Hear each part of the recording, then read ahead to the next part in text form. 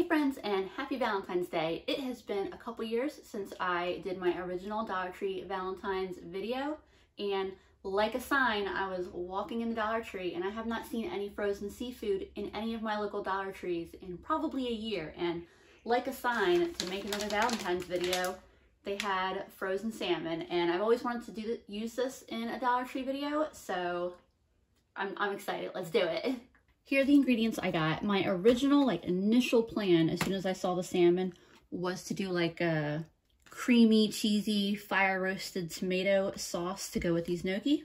And I swear the Dollar Tree has had fire-roasted tomatoes near me forever. And, of course, now they don't. That's how it goes. But that's okay. You know, we pivot. We, we work with what we can find. That's one of the reasons why I do these Dollar Tree videos, after all, is to see what we can do with a non-traditional variety of ingredients. So you can see I got gnocchi. I did not buy a new bag of flour because flour is such a repeat ingredient when I do these videos that it just doesn't make sense to buy a new bag of flour every time I do one. This was the best option they had in stock for cooking oil. It's a soybean olive oil blend. It's like 95% soybean oil, 5% olive oil. You notice the jar, the bottle that it's in is like this like nice olive color. Makes it look like it's a real nice olive oil. But if you kind of like turn it upside down, you can see that it's actually the bottle itself that's green. I bet when I pour this out, it's gonna be a pale yellow at best, but that's okay because it's gonna work for what we need it for. I also got a quart of whole milk. This is a shelf stable milk, doesn't need to be refrigerated till you open it. It's really great. I've used it before. I would even venture to say that if you consume dairy, this is one of the best grocery products that the Dollar Tree carries, like period. I got a container of breadcrumbs, of which I will probably only use a few tablespoons, but that's okay because I always need more breadcrumbs. This little container of Parmesan cheese, and let me show you real quick the two options that they had at the Dollar Tree. Dollar Tree carries grated Parmesan cheese and a larger container of grated topping with Parmesan. If you look at the ingredients, the smaller container is basically just Parmesan cheese and an anti-caking ingredient while the larger container is whey, starch, rice flour, casein, flavoring, palm oil, lactic acid, buttermilk powder, and then finally a bit of Parmesan cheese. So I always recommend the little container. And then I got this little wedge of jalapeno cheese. It's always really hit or miss whether Dollar Tree near me has any kind of cheese in stock. Today it was mostly a miss. It feels kind of criminal spending $1.25 on this little two ounces of cheese, but it is what it is.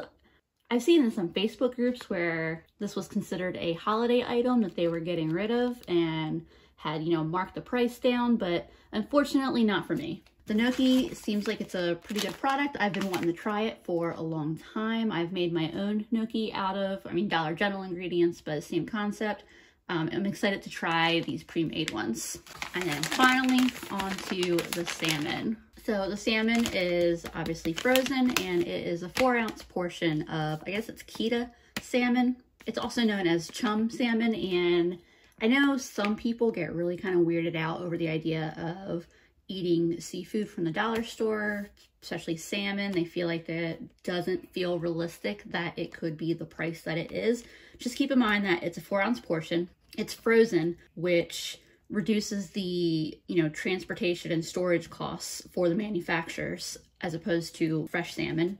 It looks to me like the portion probably is coming more towards the end of the fish, towards the tail side, which I'm guessing is a lower quality cut. And $1.25 for four ounces, that's like $5 for a pound of frozen salmon. That doesn't seem that outrageous, especially because uh, the Keta or chum salmon is generally considered a lower value fish in North American markets. And you can see what these look like. I mean, they're just little vacuum packed tiny portions of salmon. These are still pretty frozen. I've had them in the fridge just for, I think like a couple of hours. So I'm gonna get these in some cold water to finish thawing. By the way, I think Keta is just like a way to market chum salmon that sounds a little more appetizing, I guess. So random tangent, when I was a teenager, I really wanted to go to Alaska. That was like my like ultimate dream goal. Actually, there was specifically a outdoor program. It was like a 20 something day sea kayaking trip, I think.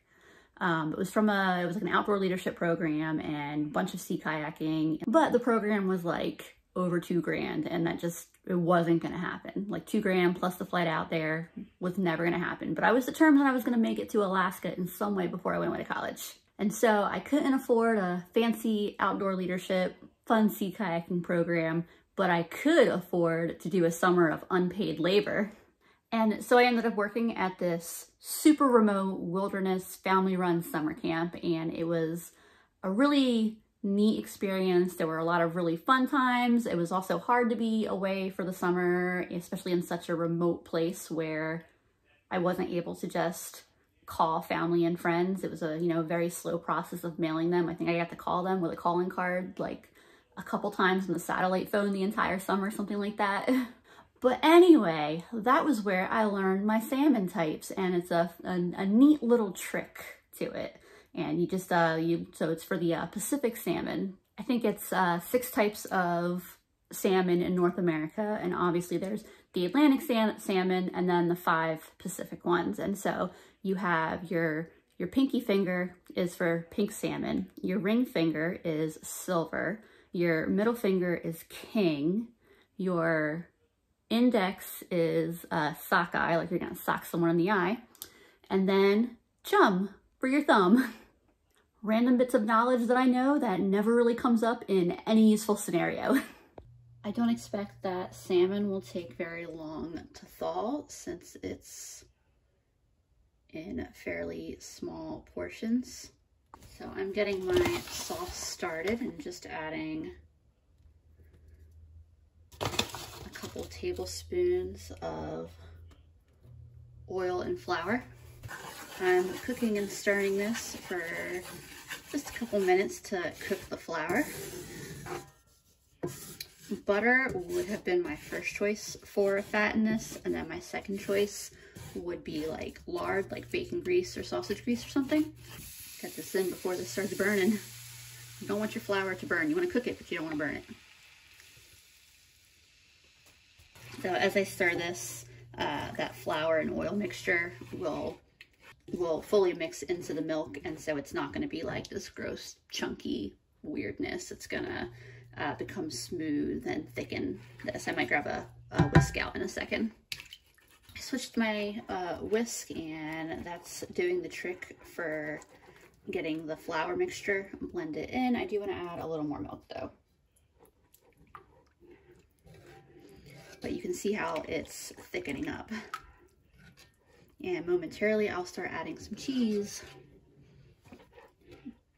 As this smooths and thickens, it starts to look like a really delicious appetizing sauce, but don't be fooled. It is super bland right now because all the flavor is from the milk. We didn't have butter, so we don't get the, the flavor of a nice toasty butter roux, but that's okay. That's where our cheese is gonna come in and some seasoning is gonna come in. I said originally I really wanted to do some fire roasted tomatoes in it. Well, that's okay. We'll do some pepper, some red pepper flakes. I just already know I'm gonna need at least a little more milk cheese is gonna thicken it up even more when it melts in. And I would always rather have too much sauce than not enough. It definitely will need some salt, but I want to wait until I get my cheese in. And then I think salting it is probably going to be like the last thing I do. I tell you, this cheese definitely shreds nice. So for $1.25, that was a pricey little two ounces of cheese, but it's really good. It's like a really strong and extra creamy pepper jack. It was very, very good. And then I want to get a nice bit of Parmesan in there. Now we're starting to get an idea of the flavor and where it's going to go. I'm to add a little bit of salt right now. I can always add more. And a little bit of onion powder. So a lot of you have noticed that when it comes to spices, I don't season things the same way every time I cook them and I kind of just go for like what sounds good to me at any given time. which sometimes has its downsides because someone will ask me to cook something just like I did before or ask how I cook something and I'm like, uh, that's a great question. Oh yeah, that is, I'm gonna have to start focusing on starting the other dishes in a moment here because I need something to distract myself from just sitting here and eating this. I do want just a little bit more Parmesan, not just not because I necessarily think like it needs it. I just kind of want a little more of that, that cheesiness. And I've got this on super low. I may need to add a little splash of milk, but otherwise I think this is, this is done and ready to go. I've got some oil heating up in one of my cast irons and I got my salmon out and have dried it and it I mean the texture you know you can tell that it's been frozen for a while. I believe chum tends to be a little bit milder than other salmon types. I'm just gonna do some salt on both sides and some pepper. This is the same oil that I uh, used in the sauce And hopefully this cooks up nicely. Like I said, you can tell the texture's been a little bit affected uh, from being frozen, but I'm hopeful. I've also got the water boiling back there for the gnocchi, and I'm to drop those in as well.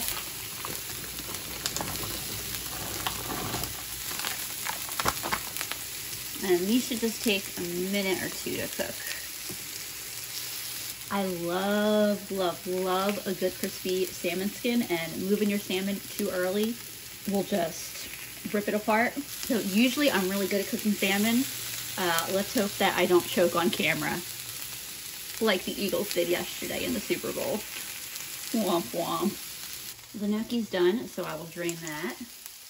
And then you see I've dumped my gnocchi into the cheese sauce, given it a good stir. I'm real happy with that cheese to cheese to gnocchi ratio there, that sauce to gnocchi, ratio. And then I have my breadcrumbs,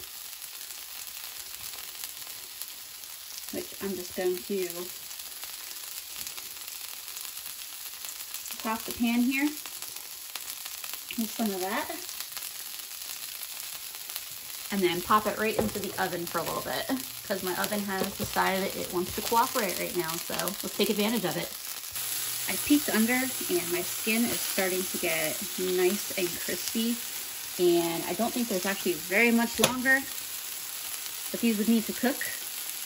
But I am going to pop those in the oven as well for a few minutes to finish. So my salmon here only spent three minutes in the oven. I poured it out and immediately got it off the hot pan.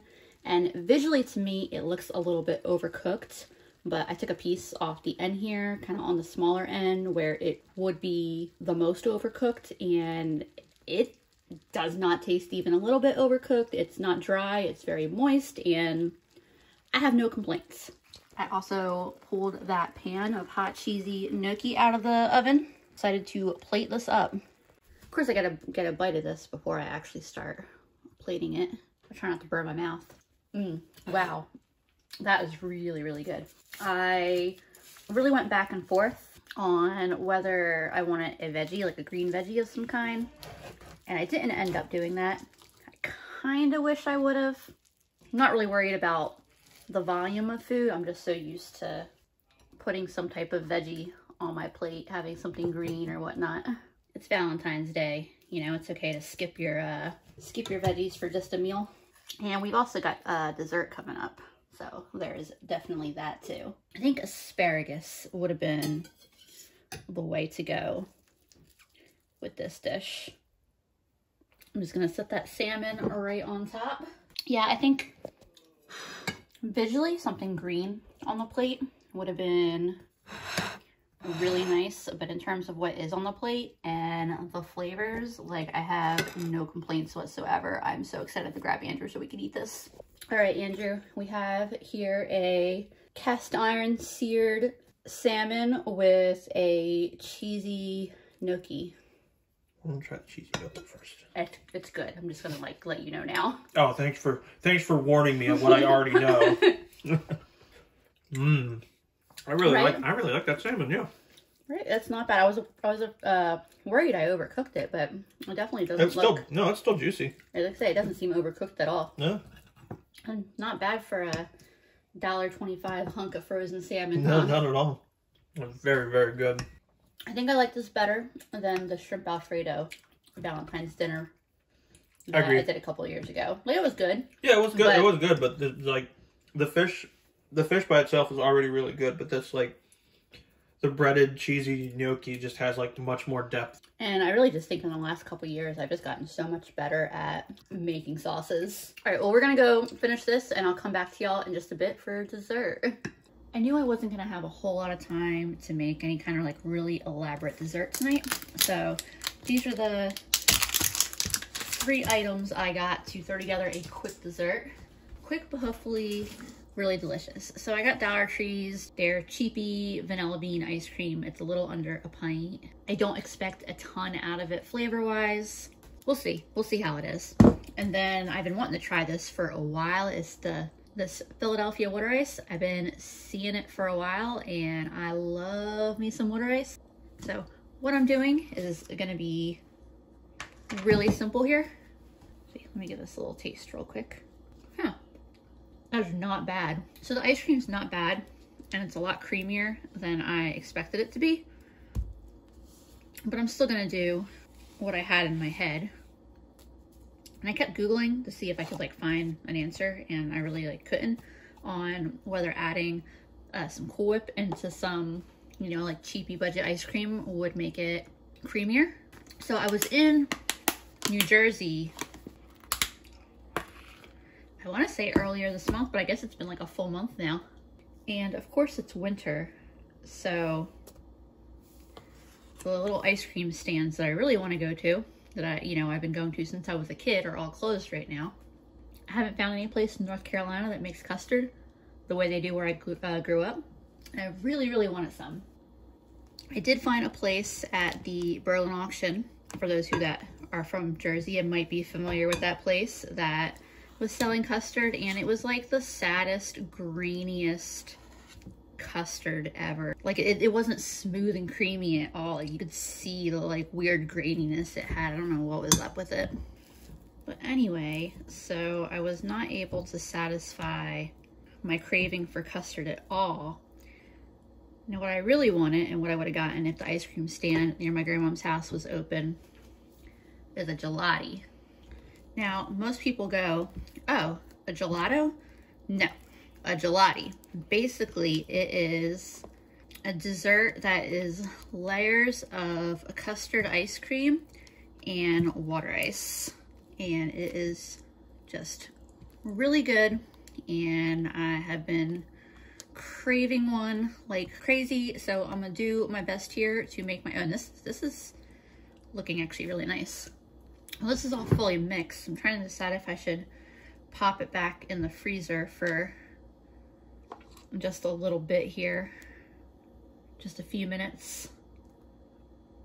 Well, at least it fits right back in the, uh, in the pint. I think that's what I'm gonna do. I think I'm gonna put it back in the freezer for like five or 10 minutes and then assemble my dessert. I actually left this in the freezer for like an hour, but you can see it's nice and creamy.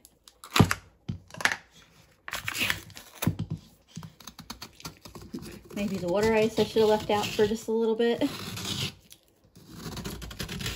Unfortunately, it's getting late and I'm getting impatient, so I'm just gonna hack at this till I get some.